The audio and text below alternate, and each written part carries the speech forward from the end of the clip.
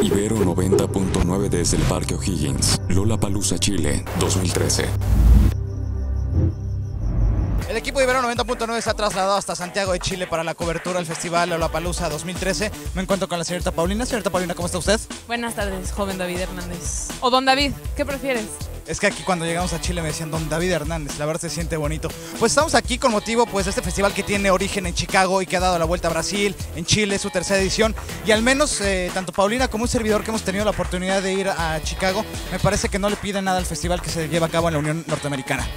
No, me parece que es un festival con la organización mucho más cercana de, a, a lo que podemos ver en Chicago.